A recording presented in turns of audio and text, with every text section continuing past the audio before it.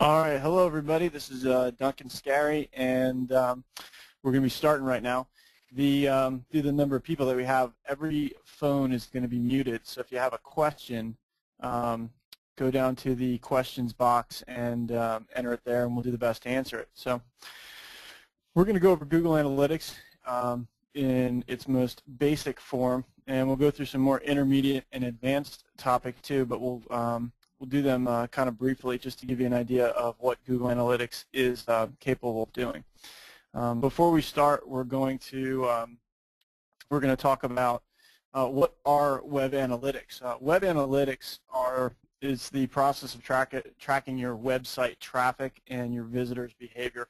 Much like if you're in your dealership and you track the number of ups you have, what, what advertising sources they came from, what percentage of them uh, were written up, and what percentage of them became BBAC. So web analytics are, are the exact same thing, and um, uh, what they do is um, basically tell us all the, the same statistics uh, about your website. The most important thing to understand about web analytics is that they're very broad stroke.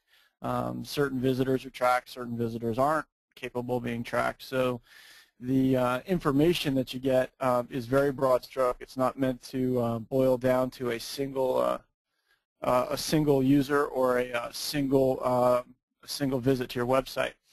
Some of the things that you can expect to um, find from your web analytics are the overall number of people coming to your site, um, the sources of um, the sources of traffic that are bringing visitors to your site, uh, the time on site, the number of pages viewed, uh, the content visitors are viewing, um, and ultimately if users are reaching important areas areas of your site or um, doing things that you want them to do on your site. Uh, we typically recommend and use a lot of Google Analytics, and um, you know why you would use Google Analytics over um, another analytic program is first off, it's incredibly powerful. Um, if you compare it to some of the top uh, analytic products on the market, um, it it it lines up feature by feature uh, with virtually all of them. It's very flexible. You can install it on on virtually any site, and you can modify it to um, for it to perform just like you want it to most importantly, it's free. So if you look at a, uh, an analytic product like Omniture, uh, which is pretty expensive, uh, Google Analytics does virtually everything Omniture does, and it's absolutely free. There's a strong support network for it, meaning that um, online there's a tremendous amount of online support for the software, uh, and there's also a network of people who have been trained and trained by Google and authorized by Google um, to help support the product. Finally, what I think is most important is every web analytic package reports a little bit differently, just like every general manager in every store reports their traffic a little bit differently.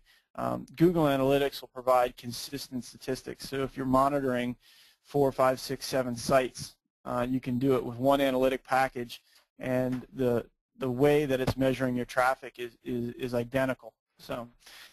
Uh, to get into Google Analytics, you just go to google.com forward slash uh, analytics, and that'll let you sign up, let you uh, create your codes and access your data and do everything right from there. To start out, so everybody understands, is how Google Analytics work. Google Analytics works is um, what happens is um, your web provider will place a very small snippet of code on your site, and that's right here. Uh, it's completely unimportant that you understand this or not, but uh, this is what goes on every page of your site. Uh, when somebody goes to a particular page of that site, what this code does is it records 30 plus pieces of information about them and then forwards that on to the Google Analytics servers. The Google Analytics servers process the information and put it in your analytics account. Um, the Google Analytics servers do this several times a day, so it's most so analytics are not real time. They're not up to date to the minute to the hour uh, basically they're, they're uh, comprehensive to the day. So it's a pretty simple process. You put this snippet of code on your site. This snippet of code records a bunch of information about the user. It's non-personal information. What that means is it's not their email address, it's not their name, it's not their, their phone number, anything like that. It's all non-personal information, such as what type of browser they're doing, what the last page they visited was, whether, whether they've been on this site or not. The analytics server processes it, and sends it onto your uh, sends it onto your analytic account.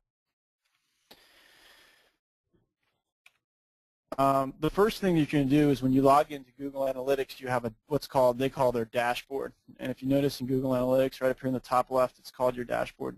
I'm actually going to go into a live dashboard here and show you how it works. Um, give me one second, it'll pull up here. Here's a live, um, here's a live uh, Google Analytics dashboard. Uh, what's important to understand about this dashboard um, is it displays all the pertinent information. But what's really powerful about it is that um, you can configure this pretty easily. For example, uh, over here is a box that says traffic sources overview. Let's say you didn't want to see that. That wasn't important to you. There's a little box on it that you can click and it removes it from your dashboard completely. Um, what you can do is um, then you can take other information and move it over to its place. So for example, let's say this goals information down here in the bottom left is important to me. I can drag that up to the top and uh, put it where I want to see it. So every piece of um, what's really important is you can configure Google Analytics, this dashboard, to look exactly like you want it to look and provide just the information that's most pertinent to you. Uh, you'll still be able to drill down here on the left-hand side into all this information, but the dashboard will allow you to configure Google Analytics to show the information, uh, just the information that you want to see.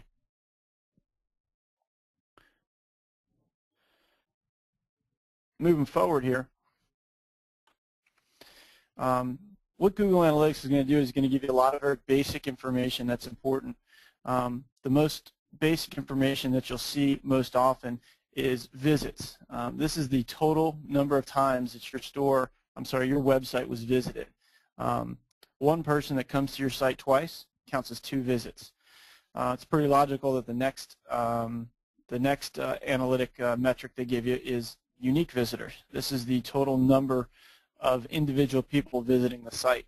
So if uh, you had 100 visitors and they all visited the site twice, you'd have 200 visits and 100 unique visitors. Um, the next one that you'll look at a lot is page views. This is the total number of pages viewed by all of the visitors that came to your site. Um, typically, most people look at it as page views divided by visits down here. And this is the average number of pages each visitor um, looked at. This is important to see how engaged someone gets with your site, whether they come to your site and they see one page and leave, or they come to your site and look at 20 or 30 pages, which means they're much more engaged with your site. That metric will help understand whether when people get to your site, whether they're having a good visit. The next area up here is time on site. Time on site is um, important for um, looking at how long someone stays on your site. Um, again, this is another uh, measurement to show how engaged somebody is with your site. So do they come and just check a couple pages and leave, or do they come and stay a long time, look at a lot of cars, um, look at a lot of the products or services that you have to offer. Uh, bounce rate is the percentage of people who come to your site and leave after viewing just the first page.